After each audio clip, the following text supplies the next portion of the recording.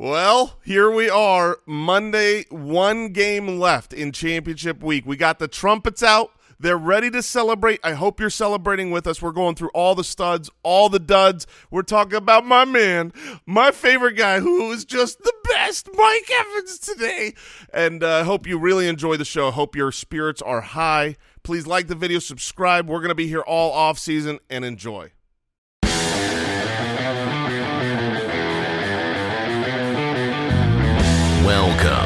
To the Fantasy Footballers Podcast with your hosts, Andy Holloway, Jason Moore, and Mike Wright.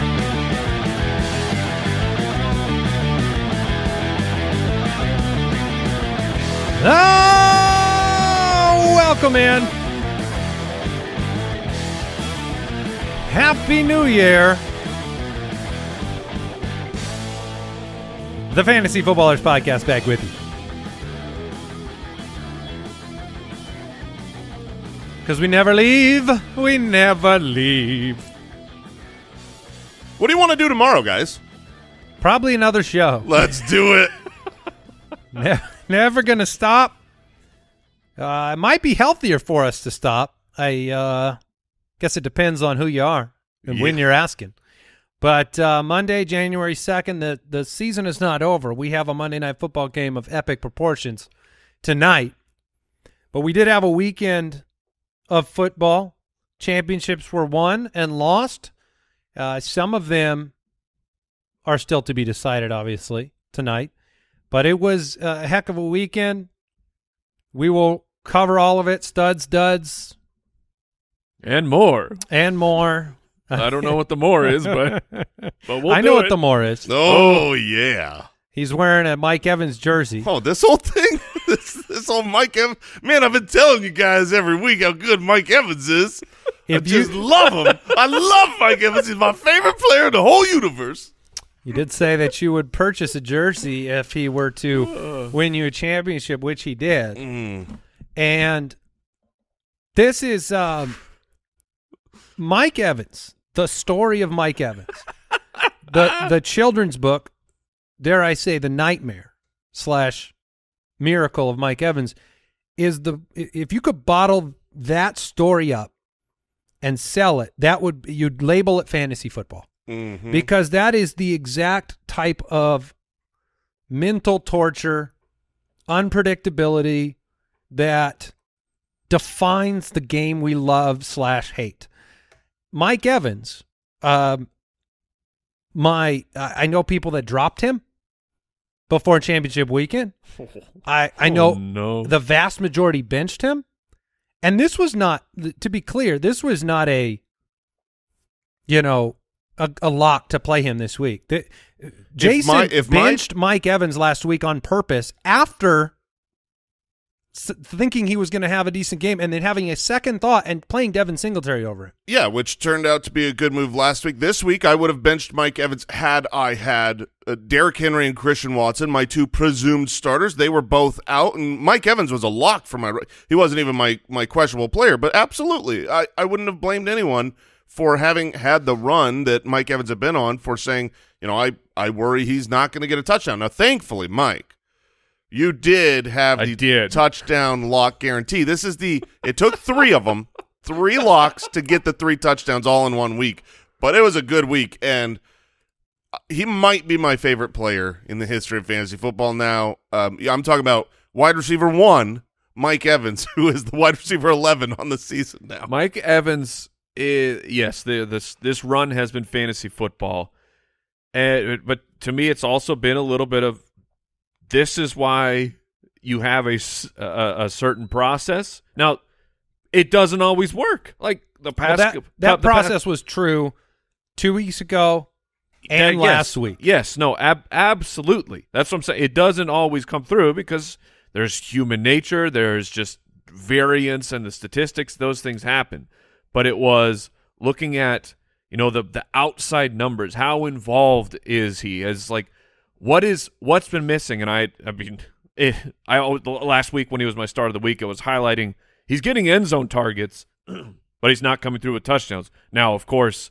No end zone Th- targets. These were not end zone targets. These were just just wide open, th- uh, it's streaking down the field. Which he's also had a few of those where there's been these just Mike Evans nasty drops of I can't remember what what week it was, but you had the free play where Mike Evans just all over the shoulder, which he did three times this past week, but he just dropped it. So I I, I don't know. To me, it it it kind of just it's like a it's a fairy tale. It's a Disney story. You got you had the the ups and the downs and the perseverance, and then and then the huge payoff at the end. Wide receiver 34, 44, 75, 46, 49, 32, 56.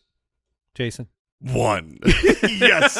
which is which is what I hope to have accomplished in our league of record. Yes, which you did.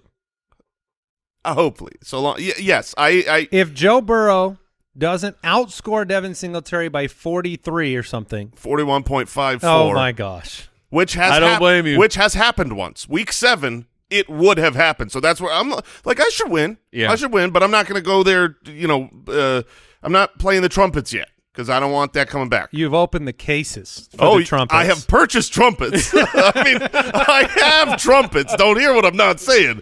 They are everywhere. I just haven't started playing them. yet. Right. Yeah, you've got an abundance of trumpets. Yeah. The parade you've Hired mapped the parade route Yes. for the city, but you haven't booked it yet. I have so many musicians lined up. I mean, these are excellent world class brass players, and I can't wait to hear the music. But uh, I, w- I will wait for the conclusion. well, of this and I look, I know you are riding high with Mike, but there are a lot of people that did not have him that are waiting on Diggs and Higgins and Burrow and Allen and um, so many players. M- I mean James Mixon. Cook and Singletary and Mixon, and there are big time uh, championships on the line. Uh, we we took to Twitter now. The, the abundance of Twitter puns submitted this week were like if you had to break them down in a pie chart, right? there would be there'd be like a, a, two thirds sliver for like Mike Evans, then there would be like a almost full one third sliver for Justin Jefferson. Yeah, uh, which who is fair. I mean, I had both of them. I don't know the problem. They combined for almost 50 points. so you, you were in the in the good situation there. It, it's wild because the story of Evans has been disappointment for the entirety of the year, and the story of Jefferson has been breaking all the records for the entirety of the year. And when push came to shove in the championship game, it wasn't just Jefferson that let you down. There were other significant players. So let's jump into the puns. Let's start there. Let's go with Bustin Jefferson. Justin Jokerson. But we have Mike. Thank heavens. And of course, Amari Coop. There it is. How about Dookie Metcalf? oh, uh, uh, Jahan Notson. Yes, and Daniel Thrones. Oh, Mike, there is DeAndre Gift. DeAndre Grift. Uh, Trevor Florence. and Jared Studham. Oh, how about Austin Excalibur? Oh my goodness. Or Christian McChampionship. Mm, that sounds delicious. Can I get two Christian Yeah. McChampionships, please? Those are sandwiches for you? yeah, I mean, they had a Mick in the name. So. Yeah. Uh, it was nice to see those two running backs, Ekeler, McCaffrey, have big weeks, especially with some questions around utilization. Um, we saw that, you know, Trevor Florence, he didn't play the whole game. He got Houston. And uh, because Travis Etienne had a big game and they scored on the ground, he ended up with uh, as bad of a game as you can expect. Yeah, I mean, uh, every the, every single running back on that roster had a touchdown. They smoked the Houston Texans. Everyone had a touch uh, Yeah. touchdown. They were giving them out for free. Travis Etienne had an unbelievably great game. You guys want to guess whether or not he had ten carries? Because he didn't. I was going to say, did he play 50% of snaps? No, he didn't need to. I mean, it was like it, it was a real bad situation for Trevor Lawrence, who had been on fire. I recommended him. I thought, hey, they they are going to play their guys, and they did. They weren't going to rest their guys. They just got to rest their guys not because of the playoff implications, but because the game was over at halftime. Well, and that might have been what you would have seen in San Francisco, for example, if the Raiders hadn't come out and put together a really good game against them. I think there's two quarterbacks in football that have thrown three touchdowns against the 49ers this year, Patrick Mahomes and Jarrett Stidham. so, you know, I don't know the playoff scenario for the Raiders. Are they still alive I or have they been eliminated due to other situations? You should look that up because I, Yeah. I would just be really I think they're dead. I'd be really curious if they still had a chance with Jarrett Stidham to end the year, but probably out. I would guess. Uh, let me let me cover a couple of things here at the top as we get into this final week of the regular season. Jason, they're They gone? are out. They're Yep. toast. Oh, they lost. Yeah, they lost. Why They did have- yeah in my because head it they- went it went to overtime. They had a moral victory. I forgot. That's you know what what's was. funny is when you were talking about it, I had the same thought. I was like, yeah, well, they took care of business, which they did. They lost. Yeah. But they took care of a lot of business. This isn't hockey with the overtime loss. Mm. You don't get a point for that. Nope. I want to cover a couple of things with our schedule, the Fantasy Footballers podcast, as we head into the new year. Um, make sure you follow and subscribe to the show. We are not going away. We are pivoting to our off-season schedule starting next week. We're here all five days this week. Next week, we will be two days a week. Those shows come out on Tuesday and Thursday. And we also have a footcast. If you don't know what the footcast is, I don't know if we take very much time to define that on here anymore. But if you support the show at jointhefoot.com, we do an extra weekly episode. Um, we cover everything that's going on at, uh, around here, uh, all the updates to the tools, to the website, to the apps, and we mostly spend that episode answering your questions. Uh, exclusive uh, mailbag show for the Foot Clan. And those are really fun episodes. Uh, a lot of times, especially as we get into this part of the season. I mean, this is uh, the questions that come in are uh, all over the place, and we enjoy answering them. No, it's a it's a great time. So if you want that extra episode, like if you can't if you can't, you know, go from five down to two, and you're like, man, I need to step that down a little bit, jointhefoot.com, support the show over there. Uh, we're an independent podcast. Um, and we appreciate everybody that supports the show. It's been a fun year. I've obviously seen, I mean, you guys have as well, all of the tweets, um, people enjoying uh, just the duration of the year, the ride, right? It's a roller coaster. We cry together. We cheer together. Get your hashtags ready. Hashtag Foot Clan title. If you uh, take one down, Yeah, let us know. put it out there on socials. And uh, you can follow us, tag us at the F of Ballers on Twitter. And uh, like I said, year round, we're here. We'll get into the NFL playoffs. We'll get into the footy awards. We give our year end awards. You vote on them. The truth episodes. The Super Bowl's coming up. 10 things to remember. There is so much going on. And then we also have our Spitballers podcast. Yeah, baby. If you need a full detox from football, Mm-hmm. you need a break, and you just want to laugh at stupid people saying stupid things, We're your men. we, that's us. We got you, And- spitballers. Yeah, listen to the Spitballers podcast. if you are taking it home or you are the commissioner responsible for distributing a trophy, check out fantasychamps.com. The code is free ring, and you will get a free championship ring with the purchase of a trophy or belt. Now is the time. I am going to get so much stuff. I am. I have on no, the website I now. have no doubt. And uh, let's get into the news. News and notes from around the league. You guys care if I just blitz this? Can I just run through it? I'll let you know if I need to stop it. Okay. I mean, we got week 18 coming up. Okay. Let's so you have to. It has to be so valuable that Yep. the 4.9 percent need it. Teddy Bridgewater. Whoa, whoa, whoa! Let's hold up right there. you guys were jinxing the same joke. yeah, Teddy Bridgewater finger injury left early. Wait, it was a finger? Yeah, dislocated and broken pinky finger. When he, so when he got stiff arm face and mask slammed into the ground, Yeah, he heard he hurt his finger? his fingy. yeah, that's a fingy for yeah, sure. that's the pinky. I mean, I don't I'm not trying to throw a football with a broken pinky, so I'm not blaming him, but I had I did not realize this. Jakobi Meyers exited early with a shoulder injury. Nick Foles exited early with a rib injury. James Conner exited early with a shin injury. That had, one a, had a a good shin game. injury. Yeah, oh nice. Had a good game though. Uh, before leaving, which was nice for fantasy purposes. Could have been nicer. Oh, Yeah. could have been incredible. Skyy Moore early exit with a hand injury, also a drop injury. Uh, and then Jalen Hurts expected to be available in Week 18. They lost. Uh, Gardner did not get it done, and the Eagles are now up against it to secure the top seed. Oh and two without Jalen Hurts. That- what is their What is their situation now though with the Minnesota loss? I guess San Francisco still won.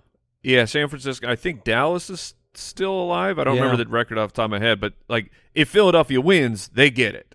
They get the number one seed. There's nothing else. But that they it is need. on the line. Like they can't. Okay, but they could get it without winning if other teams lose. right? Yes.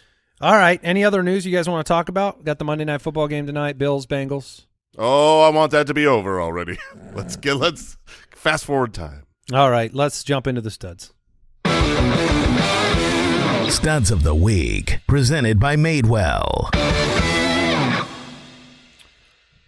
All right, let's get into it. Uh, this was this was the game. I mean, it took 17 weeks, but we got it. Tom Brady, 34 for 45, the three touchdowns to Evans, 432 passing yards, and uh, as Jason predicted, the the Buccaneers found a way to win at the end.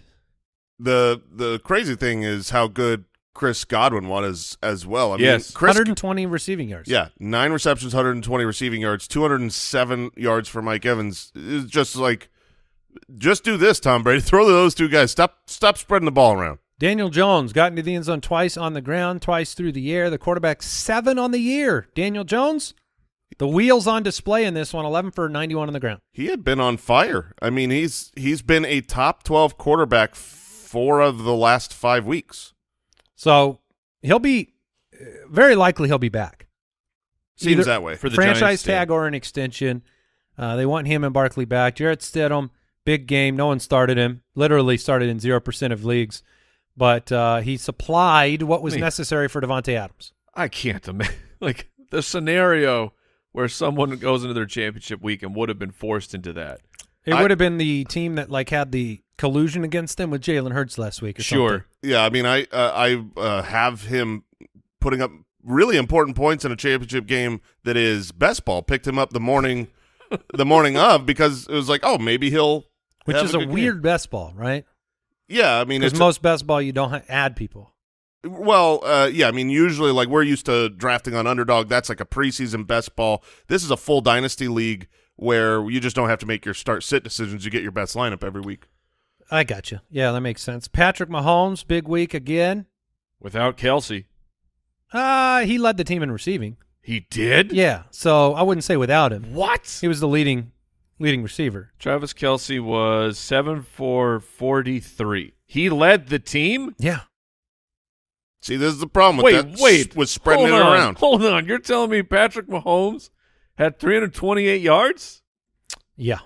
and Kelce led the team. Yeah, I don't Where know. If did I the don't know yards if I don't know if that was in reference to total receptions or yards. Okay. So you can go look at the box score, but I know he led the team in in receptions. So yeah, it's got to be receptions, right? um, I thought he had more yardage than that though.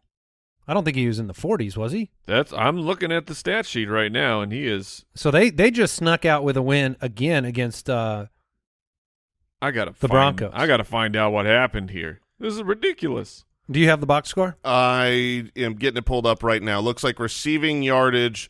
Uh, the the leader was Kadarius Toney, There we go. seventy one. That's much better. 52 for Jerick McKinnon and then 43 for Travis Kelce. But literally So he- everyone was involved. Skyy Moore got involved. Uh, MVS was involved. Justin Watson had 27.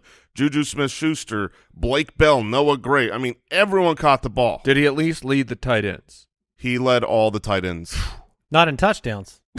He- no. But it- but to Andy's point, he did lead in targets and in receptions. There you go. That, that- I, I knew I had heard something to that extent, which again blew my mind because of how underwhelming he was for your fantasy week. Yeah. And then uh, Russell Wilson, uh, whatever. Hey! I mean, two two rushing touchdowns.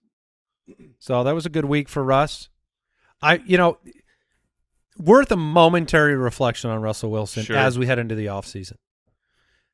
I am limited. I am I have no qualms with being aggressively disinterested in Russell Wilson. Agreed. He has struggled immensely this year. But I will say this. This is a situ he he did not go into a better situation. He went into a worse one. Worse coaching, worse wide receivers, worse running back situation with Javonte's injury and Melvin Gordon being released, and potentially worse offensive line situation in the end. So while I don't I don't think this Russell Wilson from this year is prescriptive for every following season. Uh, you know, you saw Courtland Sutton was not good this year. Sure. Um, Jerry Jeudy was their best receiver, injured at times. Um, this was not DK Metcalf and Tyler Lockett by any stretch of the imagination. And we know, I mean, they lost their their coach, you know, before the season was over. Before it started. yeah, I mean, just uh, the perfect hire Yeah. fired before the season ends. So The perfect fire. I mean, Ooh, I. I just want to give like I want to give Russ enough credit for the resume of career and and you know people want to say system quarterback. You know, everybody's a system quarterback to a degree, right? You, if you're in a better system, you're going to be more successful. They obviously are coaching better in Seattle and turned Geno Smith into a functional offense, but that was also because Metcalf is way, way, way better than any receiver that he has in Denver, and um, there's an argument to be made that he lost his number one receiver before the season began. Do not forget that Tim Patrick was lost to a ACL injury in the preseason. Um, the numbers, if you look at Courtland Sutton this year, they're bad. I mean, they- he's gone down in PFF ratings three straight years. He's 50 something in contested catch, which is what he's supposed to do because he's 80th in, in separation, which is, you know, if you don't separate, you better win at the point of attack. Agreed. And so it just like he's a great two, I think. I think that might be the truth about Courtland Sutton because, you know, it's just possible that Russ is better, but not what people thought before the preseason. No, I uh, I'm in agreement here that I'm not going to pound the table and be like, "Oh, Russ, it's the bounce back is coming." Uh, but ran across a tweet. Apologize, I don't remember who sent it because it was just you know a fleeting tweet. But they were pointing out, look at Hall of Fame quarterbacks who have had like catastrophic years, and there's a lot of them. Yeah, like the like one I can remember off the top of my head. Remember when Kurt Warner was done for the New York Mhm. Giants? Yeah. He was cast aside, and like I don't I don't Eli re- Manning took over. I don't even remember how the Cardinals got him. If it was just like they they had Matt Leinart, they needed a backup quarterback, and then Kurt I believe they cut him. And I then- believe the Giants cut him after they made the switch. and then Kurt Warner comes to town, has a good offensive system, has Larry Fitzgerald and, and Anquan Boldin, and boom, he's back. So I'm uh, I'm with you, Andy. I'm going to leave a little bit of margin for Russ to be better next year. Yeah, so the uh, the Rams had released Warner, and the Giants voided the second year of the contract after Eli took over, and then he went on to succeed. That's a good. It's a good. uh, You know, and there's other there's Russ other is Hall- quarterbacks who have done it. is Russ a Hall of Fame quarterback? He before was thi- before this year. yeah before this year I would have if he had retired he w- would have been in immediately to me. You've seen the wide receivers come out and vehemently defend him lately. Huh. You didn't see Jerry Jeudy come out and make a public statement in, I his, did not. in his defense. No. So like, because obviously it's easy to pile on a man of that ego. It's so easy. Yeah, I mean he does some certain things to himself. Also a lot of fun. Yeah, but uh, Jeudy came out. Sutton's come out and said it. Hamler came out and defended him. Um, we have his back. We know he wants nothing more to win. Jeudy said the media is trying to make something out of it that it isn't. Um, you guys do not know what's going on in the locker room. I'm tired of reading things about my boy, making it seem like he's not a good teammate. That's not true at all. So, I mean, No, I I get that. I, You know, I've never this is said just- anything about him being the- a bad teammate. Just What? bad quarterback. Well, his, his other teammates have uh, implied those things. Jared Goff, start of the week, three touchdowns, 255. Boom.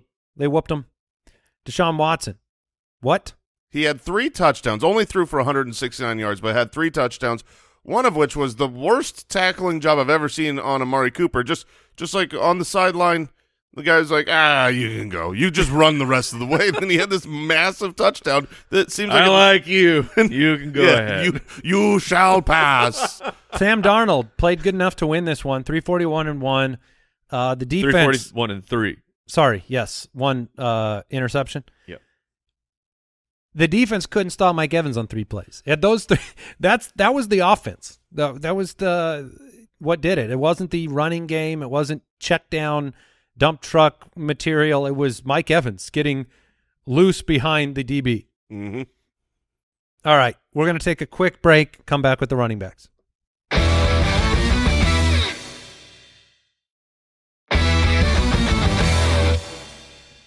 Let's talk about DeAndre Swift. 11 for 78 and a touchdown, Mike. No. Four targets, No. another touchdown through the air. I've never seen somebody more actively, aggressively against the player succeeding than Mike every time DeAndre Swift had the ball this week. Uh no, I mean I, I bet you could look across the Twitter landscape and you could I'm sure you could find it because this line is incredible. This is a this is a week winning performance for teams that are not in the championship game. This is said as someone who had DeAndre Swift. yeah, and I'm speaking for all all the Swifters out there. that got wrecked on a weekly basis. But Uh-huh. it was it was excellent to see because he, he is a good player. He was on the Mike Evans plan. He is on. He is a good player and was not coming through, and it was just very frustrating. Teammate Jamaal Williams had an awesome game, 144 uh, rushing yards and a touchdown as well. yeah, Chicago is bad against the the running he's back. he's the RB 12 on the season. He also, I believe, he led the he led the week in rushing. He was the rushing leader for Week 17. He's also now playing Pokemon. Did you not? Did you not watch this? No, clip? no, Oh. I didn't. I don't. They know were- what they were were- talking about. I posted it, but That's they all. were they were uh, talking to him after the game, and he's like, "Man, I just want to get out of here and play some Pokemon." Okay. like- he's like, "Stop talking to me." yeah, it'll be a fun final week of the year for the Lions. I mean, what a matchup we're going to have next week. Yes, because Green Bay has to win. Both of them do. Yeah, uh, Yeah. it's going to be fantastic. Um, Austin Ekeler finishes the year as the RB one. 10 for 1, 22 and 2. Just thinking about the first three weeks of the season and where we are now with Austin Ekeler. Mhm. Uh, you know, the predictions of touchdown regression, guys. You know, he went from 20 to 19. Yeah, so Hey, is right. hey, we got him. Regrets. Still got another week. Christian McCaffrey, 19 for 121 and 1. Six Who's- for 72 through the year, the RB2. Top of head, who's your 101, McCaffrey or Ekeler? McCaffrey. okay. McCaffrey, yeah. Uh, Travis Etienne, the big game. We talked about it. Jerick McKinnon is the first running back in the Super Bowl era to have a receiving touchdown in five consecutive games. He had two in this one. He was a, when you think about an end of season unheralded name that, Yeah. that won people championships, Jerick McKinnon is going to be in that list. There'll be people with Jerick McKinnon jerseys like Jason Evans jersey. today. Absolutely. Three of the last four weeks, he's been a top six running back. I mean, he's he hasn't been outside the top 24 since uh, week 12. He's just been unbelievable and is a clear, important part of the passing game for Mahomes. Najee Harris ended the year strong, 22 Yeah. for 111, caught a touchdown. And He's that- been the RB6 since week 11. That touchdown reception was, I mean, he snatched that thing out of the air. Raheem Mostert, you never know when to play him, but when he plays well, Down, Raheem. 9 for 29. the the strange thing was the eight targets. Like the the ground game it didn't work at all. And he's not normally this involved in the passing game yet went 8 for 62 and 1. You had Teddy Bridgewater leave. So you had some variables here, right? You Mhm, had yeah. uh, I uh, who's the qu- backup quarterback? Skyler? Uh, Skylar Thompson. Skyler sisters. I couldn't. The only thing popping into my head was like Scooter McGavin or something. that was his name in Happy Gilmore, right? Shooter, Oh, Shooter. Shooter, not Scooter. He's- Scooter. now that he's older, now he's Scooter. He's Scooter McGavin. Yeah, that's that's that's the third stringer in Miami from now on is Shooter McGavin. Um, Cordero got into the end zone. Tyler Allgeier, the big game, twenty for eighty three, start of the week. Josh Jacobs, hopefully you played him, seventeen for sixty nine, Yeah, four for was- twenty six through the air. That was such a tough situation whether or not to start with full confidence Jacobs and Davante Adams, looking at your other options of like maybe I put someone in, but Jacobs came through and he even missed essentially the whole first quarter with uh I don't remember what what the injury was, but he left for quite a while and then came back and was great. I I feel pretty good about the running back recommendations from the show last week because Sure. most of them came through, and it, you know it's a stressful week. Kenneth Walker, twenty three for one thirty three, had a huge run to start the game, and then Cam Akers, nineteen for one twenty three. Mm hmm. He was he looked very very good. He's he's someone that if you checked out on fantasy, I think going into next season, you might be slow on the uptick because he looks the part. Uh, clearly, we're not worried about injury. Um, the we're not worried about relationship with the team, which you know is like there. It was like a couple months ago. Yep. It's like they were done. He'll never play another snap as a Ram. Now he's their bell cow. What's it's it's wild because I feel like that situation they actively tried to trade him, no one wanted him, so they tried to get rid of him, and then at at some point in time, it's like everybody had to get in a room together and be like, "Look, we can't get rid of you, so you're going to be stuck here. I guess we'll play you because we we don't have anybody else to play. Yeah, so be better. So just play hard and try to be good, and we'll give you the ball." And then they're like, "Okay," Yeah. and he might have earned himself some some cash money for the future. Mike Evans, Chris Godwin, we talked about it. Mike start of the week was Mike Evans. Uh, he took our touchdown guarantees for the last three weeks and threw them all into one week. I love him. He was the uh, looks like fifth most uh, points for a fantasy championship performance since 2000. Man, the, the the people looking across the aisle, you're like, oh, look at this chump over here, starting Mike Evans. I can't believe you're doing that to yourself in championship week. Then, oh no! I know who I will be voting for in the footies on Yeah. best performance of the year. Funny enough, I was thinking about that. Of like, what has been the performance of the year? Because you've had like some really big ones, but uh, How is it not that? Tim Well, for uh, this 207 was- and 3 in championship this weeks. was before the Evans game. I was trying to think Oh, back gotcha, of like yeah. what was that week where it was just it made all of the difference, and now it's. I mean, we can just kind of skip that category. I mean that that was unbelievable. Davante Adams, seven for one fifty three and two, ends the year as the wide receiver three. So uh, Wild. You know, Adams was Adams is great, yes.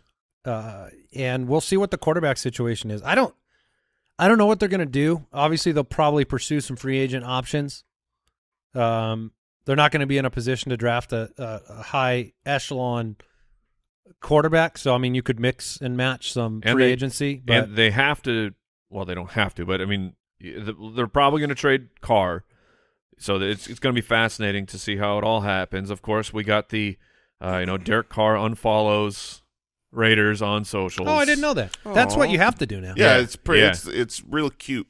You let them know. Yeah, Well, I mean, I look, I, I wouldn't blame him if they literally said, "Hey, we're going to move on from you. Go, get away from the team." I Yeah. mean, what are you supposed to do? keep yeah Raiders starting Go quarterback in your Raiders! bio. Uh, what a tough situation there. Yep. Ha- have you guys seen the um the discussion about San Francisco might be positioning themselves for Brady? No, I have not.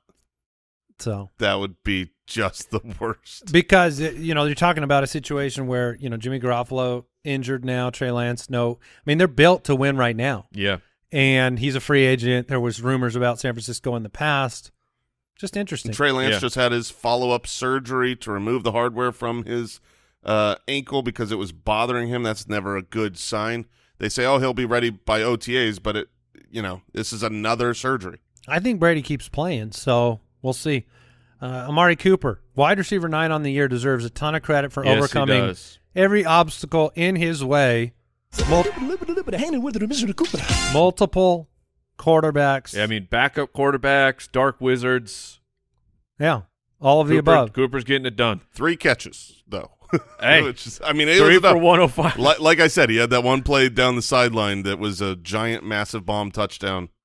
Um, and that takes your uh, ability to catch more passes Yeah. on that drive away. Do you expect the Dark Wizard to ascend in terms of returning to form? Uh, I hope not.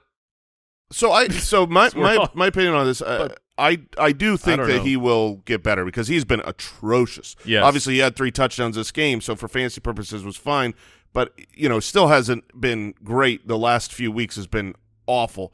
I do not expect him to stay awful. I think that with an off season, uh, with kind of building around him, I do think he'll get back to uh, being a good option in the NFL. I I doubt that he gets back to where he was though prior to suspension. Brandon Aiyuk ended up with a big game, nine for 101 and a touchdown. Uh, this was the kind of bounce away from Kittle over to Aiyuk in this one. DJ Moore, Mike, you, Yeah, you played him in DFS, which thank thank goodness it's not me this week. Thank goodness it is me. I I I want to take this on because nothing could bring me. Well, Mike, sadness. Mike, you need to you need to find whatever Yeah, I'm on it. shame I'm on it. situation is possible and enter it into the wheel because we need we need him landing on something disastrous. Plastic bag. Oh my god! wait, I'm gonna die. Put it on, fat boy. Oh, we would never say that. AJ Brown, nine targets, one big play. He had 97 yards. I think 78 was one reception. That's AJ Brown. DeVonta Smith, 13 targets, nine for 115. They're going to end the year potentially both in the top 10. That's where they're at right now. Uh, The the DeVonta Smith. I know he's been playing, you know, fantastic overall, especially when Goedert had the injury and he started moving up. But like, it's always fascinating when when the new quarterback comes in and see seeing how they play. And it was like Gardner Minshew loves DeVonta Smith.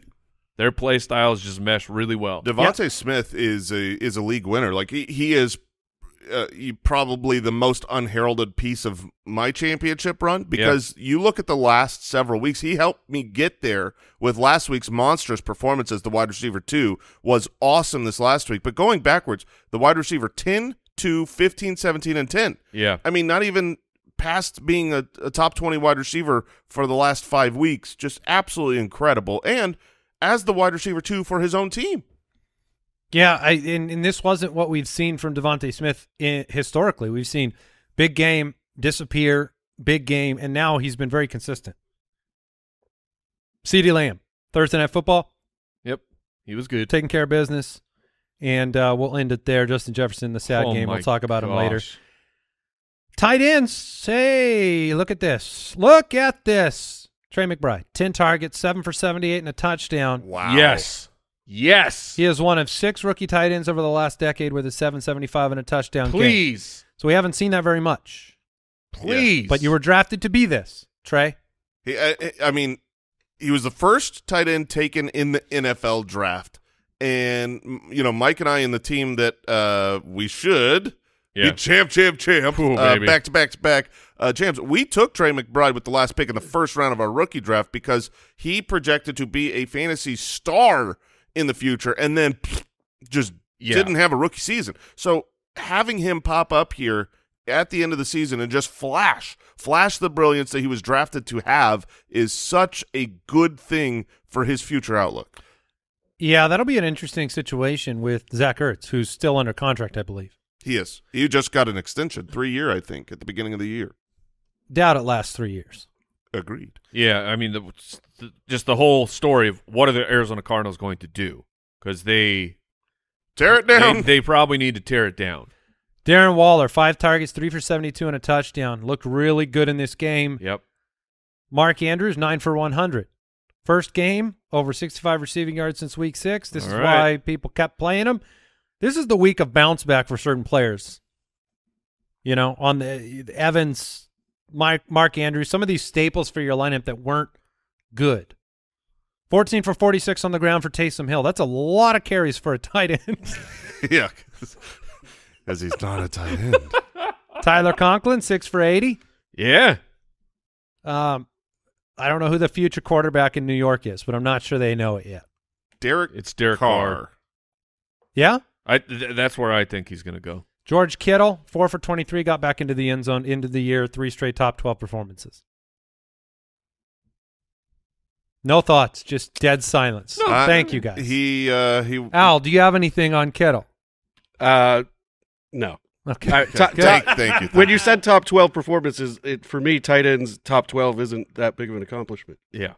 well, how about he was the tight end one and the tight end two, and then he had a touchdown this week. That's great. Yeah. I mean, it's passable.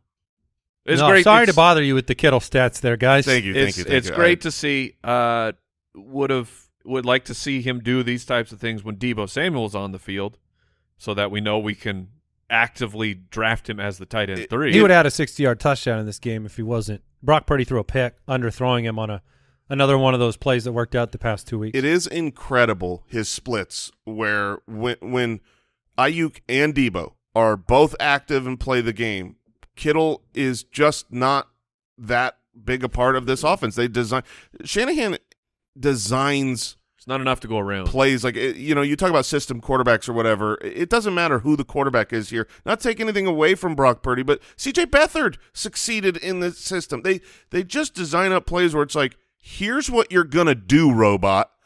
You're gonna do this play. Do this. And they don't design it up for George Kittle when they got two other good receiving options. And when one of them is gone it's like all right Kittle you're up. They're the first uh, team where the quarterback position is actually run by AI.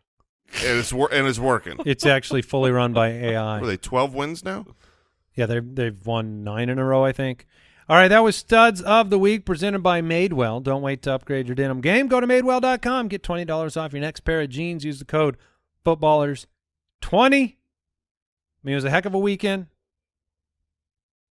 Man, the uh, the champ, champ, champ, Jason. oh yeah I don't think we and like we we opened the show kind of celebrating Mike Evans and talking about your league of record Mhm, situation. mhm, mhm. I don't. I don't think Andy's acknowledging the champ, champ, champ enough. Yeah, the the champ, champ, champ is it's never been done in any of the leagues I'm a part of. The back to back to back. Right. Well, I mean, I it hadn't been done. Pooped in his big boy pants. Trying to Al- Al's us- moving the. I don't. I mean, We've had enough. I'm just not in the league. You know what I mean? Like it's a dis- there's a lot of people that play in leagues No, all I- over the world that I'm not in, and I don't acknowledge all their championships because I'm just not. I'm not in it with them. You were. Yeah, you You dropped out. quit. I was never. Quitter. I was never a manager in that league. To well, you were a co-manager. That's what Mike. Mike's a co-manager. We're- Post draft, I got out of there. Yeah. I got out of there. You got out at the right time. I mean, I I Yeah, jumped. you didn't in. want to be in this league with us. I jumped in with the biggest loser. I saw what he drafted, and Yeah. I jumped out. Yeah.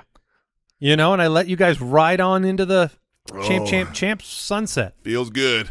All right, duds. We got to talk about him. Trevor Lawrence. We talked about that one. One fifty two. Yeah. No touchdowns. One pick. Yep. Mike White looked awful. Super disappointing. I mean, I know we asked this question a few weeks ago. Like, do you think Mike White can be something? I don't.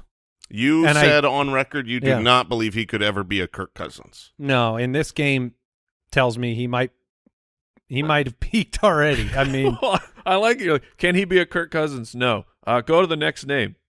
Kirk Cousins. I guess he can. He, could. this week he can. Kirk Cousins. Uh, Kirk Cousins is a good quarterback, but he can do these things. That, that's part of his. All quarterbacks can do this. Yeah. Yeah, but and Kirk Cousins just he's got a a flair for it, and it's just I I don't know what it is about the the whole career of Kirk Cousins because even before his time in Minnesota, when he's in Washington, like it was just so e, he's just He- an easy guy to dunk a, on. He's I a guess. snowball man. Sure, yeah, Yeah. yeah. He's a snowball when the momentum goes in, in the either, wrong direc- both e- either directions. direction. So when you get this is how you accomplish the greatest comeback in NFL history.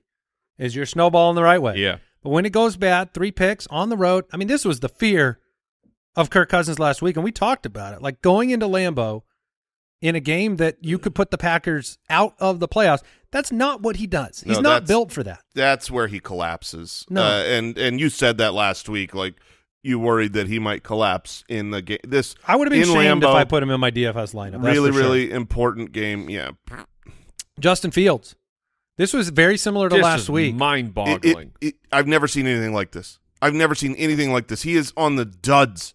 He did not have a good fantasy day.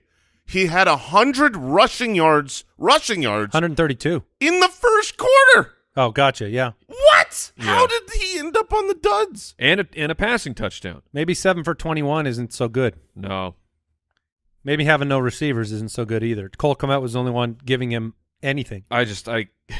And Chase Claypool, that that trade yeah. so far, I mean, it could work out later. Probably won't because we've seen Chase Claypool. He normally doesn't work out for you. The, the Steelers don't give away good players, right? It, it's kind of a. It, it's just one of those like you trust certain teams to make certain decisions around the Right. around the league, right? And yes, everybody can make mistakes, but certain teams don't make many of them. Yeah, the, you you know the Ravens are going Right. to make good decisions with personnel the majority of time. And the Steelers are in that club, and they gave him away. They didn't want him. They they traded him, and he's made zero impact in Chicago. And maybe next, I mean, they have to pay him now, right? no, he has one more year. Oh, he does have one more. Yeah. yeah. Wait for him to hold out. Speaking of the Steelers and Mike Tomlin, is he going to do it again? It just it's unbelievable. I this- was rooting for him last I, night. I was too. I found myself rooting for him to continue the streak of never. It it sucks that you know we've got the extra game on the season because he he got he did it. You know he got What is the- five hundred. What's the matchup for the final week?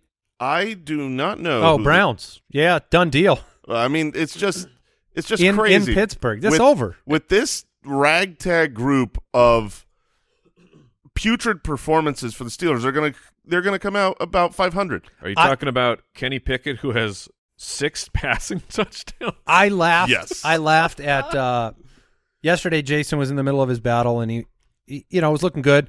But he's like, I'm gonna, I'm gonna go above and beyond something that we encourage the Foot Clan to do. I'm gonna. He had the opportunity to drop a bench player and pick up a quarterback, so he dropped a bench player Who who did you drop? I dropped Romeo Doubs. Okay. Well, then it worked out still. But it worked out to the degree of like last I looked, Kenny Pickett had five points. and it was like you He added a quarterback to right your the end. to your bench. But yeah, that touchdown at the end changed the game. Uh Dak, it was disappointing for Dak. Gardner Minshew was a nightmare until one big play. He ended up closer to twenty points at that point, but yeah. th- that game was trending in a direction that had Jason on. Um, I you know he had to have been looking for prescription drugs at that point to soften the blow of blowing his entire championship with, With Gardner, Minshew. Yeah. Mhm. Um, they had almost no opportunities in the first half of that game, and without that one big play, you'd be more scared tonight. But he got it.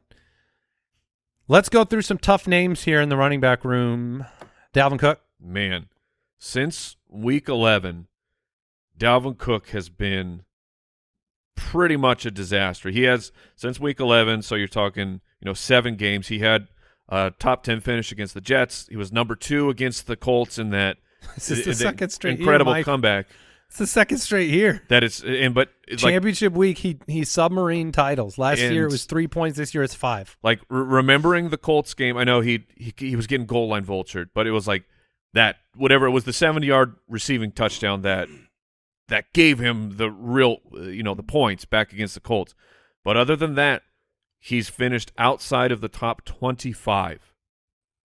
I mean, he is killing people. Yeah, the, the the I think the player who was worse this week for fantasy managers was Saquon because Saquon got you there. Dalvin Cook managers like like you just said, he's he's kind of not been great over the last Yeah, but you're Stretch of playing him games. every week. If I told you that that Saquon Barkley would participate in a game in which the Giants scored 38 points and won in a blowout, Right.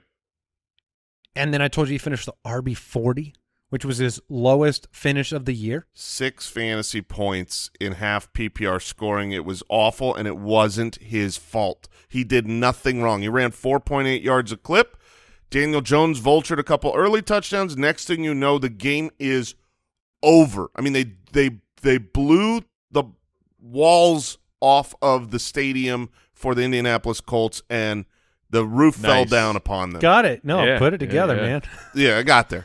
Um, and so, Sa- I mean, Saquon didn't even, you know, play towards the end of that game. You had Matt Breida just do a mop-up duty. It was so unfortunate because if you relied on Saquon, like I had Saquon in our DraftKings lineup, that was my biggest submariner.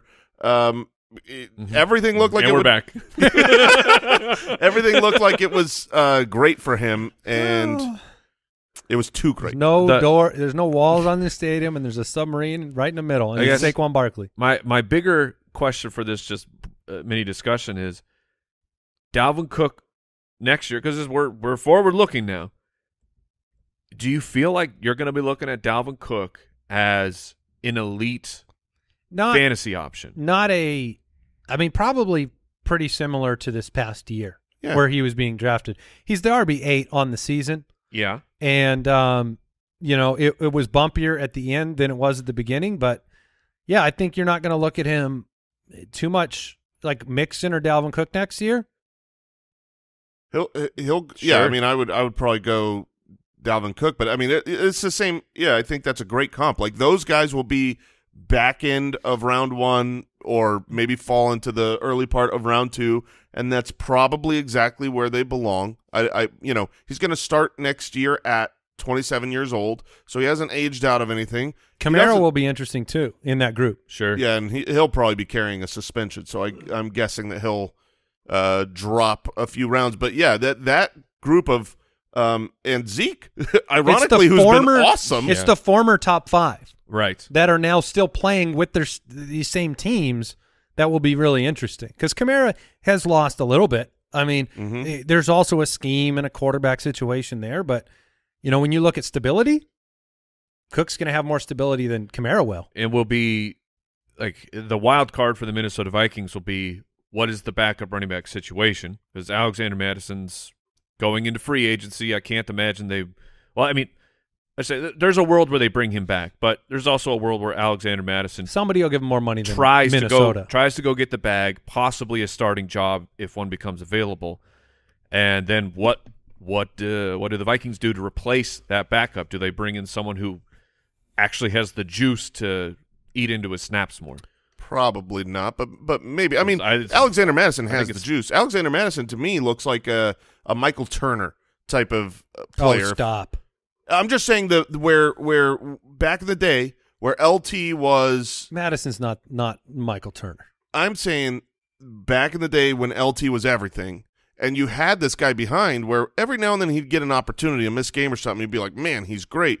When he went out and got his own starting gig, he came through and was good. Michael Turner wasn't some otherworldly back, but that's what we've seen from Alexander Mattison is when he's gotten the opportunity to have a full game in, in lieu of Dalvin Cook, he's been great. So I'm curious what, you know, if I think he'll get Damien Williams type of money to go someplace. probably. Um, But I'm saying like we we always look at starting running backs like Dalvin Cook of that team's good. There's no way they're drafting a running back, and then round two they shock you and they they take one of the top tier guys. um, all right, let's look at David Montgomery, but just for a second, because if you look too long, you'll cry. This was a disaster of a game. The team they they were awful. They couldn't move the football. We just Yeah. talked about Justin Fields. Now Montgomery's being talked about. Rhamondre, eight for forty-two on the ground, four targets.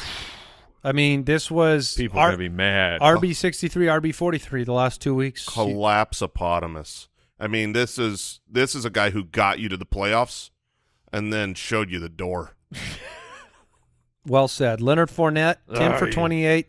Leonard Fournette was barely on the field in the first Yeah. half. Four targets, four for 19. Scored, then had it called back. I'm sure Jason's thrilled about that because uh, you'd be more nervous tonight with another Yeah. eight points on the board for your opponent. Uh, Miles Sanders, 12 for 61 on the ground. No targets. D'Onta Foreman, we're back.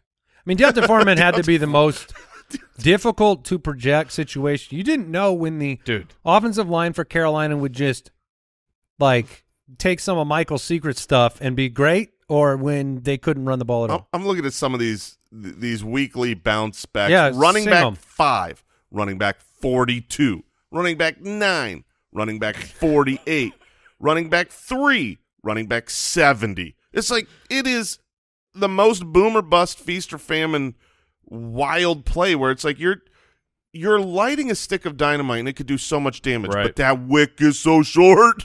you better be able to throw it. And if you can, you're gonna have a good time. If you can't, we got watch a out. really bad time. Yeah. Nothing from the Jets backfield. Zonovan Knight, eight for 27. Yeah. Michael Carter, one for two. Nice. Uh, wide receivers, Justin Jefferson was the headline, one for 15. So frustrated on the field. You saw him rip his helmet off, looked like he was about to hit a ref with it. Um, Jaire Alexander Gritted on his He- grave. yes, yeah. I don't know if you saw that particular play, but there was. Uh, I mean, maybe Alexander affected the play, but Jefferson looked like he should have caught it and hits the ground. Alexander just walking away, hitting the gritty, and this was like at the beginning of the game It was so good. because I, I I made the comment. I'm like, "Whoa, Alexander! I know you're really good, but you really you want to be poking the bear at the beginning of the game, and man. the bear, the bear was. the bear went into hibernation." oh my god! he shot the bear with a bear gun. I mean, if there is such a thing, I mean that that's people were worried about what he said before the week. yes. that was that. Dude, good for I mean- you, Alexander. Goodness gracious! Letting them I know mean, these, these two teams could play in the playoffs. they could. what's funny is this game was so good for Alexander and so bad for Justin Jefferson that the record that has been talked about for the last several weeks about Justin Jefferson obviously is going to break the the He's not. long-standing record. Yeah, he's not going to do not it anymore because he only got 15 yards here. He needed what, like 209. yeah, So he he basically still needs 200 yards. He could technically do against Chicago. yeah, yeah. He could, but you know what do they do as a team that's, you know, are they still fighting? Yeah, I mean, like every, They're not eligible for the one seed anymore. Are they out? They should be with the loss. Yeah, I think We- that's true. Okay, So I mean, in that situation, why do you why do you risk Justin Jefferson's health? I don't Yeah. know. Uh, DK Metcalf, Tyler Lockett. This was the Jets' passing defense. They're too good. Jaylen Waddle, three for fifty-two. Really not that bad considering what happened at quarterback. Garrett Wilson, eleven targets 11. for three catches. eleven targets. not a good. I mean that that that line, eleven targets, three for eighteen. That's basically what happened with uh, Greg Dortch. And Yes. that's and those those were uh, Garrett Wilson was a must start type of player, has been all season, and that is a massive letdown. Christian Watson and Romeo Doubs did nothing. Watson was one for 11. It was too risky in the afternoon to put him out there. I don't think, you know, Sunday Live, we talked about it. Uh, Romeo Doubs was too risky, too. Juju Smith Schuster, two for 21. Uh, you know, this is, you can't, he's not good enough to do what Kelce does, which is Which is demand 40 yards? which is to demand a baseline of success every week. I mean, Kelce is just Juju. If he's got the opportunity, he dropped a couple balls in this game. Christian Kirk and Zay Jones uninvolved. Terry McLaurin, Jahan Dotson, Curtis Samuel Which one's it going to be? Yeah. don't play any of them. Yeah, it was going to be none of them. Carson Wentz, uh, he had himself a special game because I'm I'm getting news of uh, Taylor Heinicke starting next week. yeah, that that They haven't happen. talked about that yet, have no, they? I that was Car- a that was a pretend. Wentz- That was a joke, yeah, Carson Wentz threw just like for their situation. 143 and three. He did do a But lot of three was- celebrating. that was three interceptions. A lot of celebrating when he snuck into the end zone, though. Yeah, You want Carson Wentz or Russell Wilson for the next five years? Russ. Yeah. Wentz. What? Well, be, I mean, If are you trying to get the number one pick? no, I'm just I'm factoring in the contract. you can't move away from Russ. That's I'm saying. like if you have to start a quarterback for the next five years, I would obviously go with Russell Wilson because there's at least a history of Yes, being great. He, could bounce back. Carson Wentz. It's can't. over. It's over. Yeah. Uh, Diontae Johnson, George Pickens did nothing because they have no quarterback. Evan Engram, welcome No. back, Schmevin. Come on. Oh, you you just gotta gotta love the one for sixteen. it's really it- like we said about uh, Every- Trevor Lawrence. Every this- pass catcher for for the for the Jaguars yeah, destroyed you. because they didn't need him. They just handed the ball to a running back. That running back ran until they hit that end zone thing, and then they didn't get to throw the ball. Dallas Goedert just three for forty five. Yeah. Probably the biggest bust of the week was David Njoku, Yes. one for twenty one. Um, just a disaster for your fantasy championship. Tyler Higbee. Most of the week we said don't read into the huge week. If you need a, a shot, go for him. But I believe the one target he didn't catch was an end zone target. Yes, that Higbee? is So, true. Unfortunate. Yeah. and then the mute did not get Lou three for No. thirty six to end the season. Which gave Papa Josh a championship in the Dynasty League, which I Yeah. know is sad for you, Andy, because No, he his team's good. He deserves it. Well, yes, his team is good, but His yours team and Brooks is good and deserves it. you, you know, we had we had all this hullabaloo uh, between you and Brooks, who had these great teams trying to get to each side of the championship in that in that main dynasty league, and both of you failed to get to the championship. Had either of you gotten there, you guys put up massive performances and would have easily. yeah, I had Mike champ. Evans. I would have been. We would have been fighting. Oh, for yeah. the, fighting for the jersey. We could both fit in this. Let's climb on in, brother. I can't because I um I, I I lost, Mm. and that's the way this show's gonna end. All right. Well, we will have an episode tomorrow. We'll talk about the team motivation levels going into the final week. If you've got a Week 18 title game, uh, we'll talk about Week 18 waivers. We'll celebrate your Foot Clan title with you tomorrow. So if you bring it home, tune in. We'll talk more about that. Jason will put a bow on his his title, and we'll see you then. Thank you for joining us. Join the foot.com as a community and our Foot Clan title t-shirts up at shopballers.com if you want to check them out. Until next time, Good, fellas. Good luck, everybody. See you tomorrow. Goodbye. Thank you for listening to another episode of the Fantasy Footballers Podcast. Join our fantasy football community on jointhefoot.com and follow us on Twitter at the FF Ballers.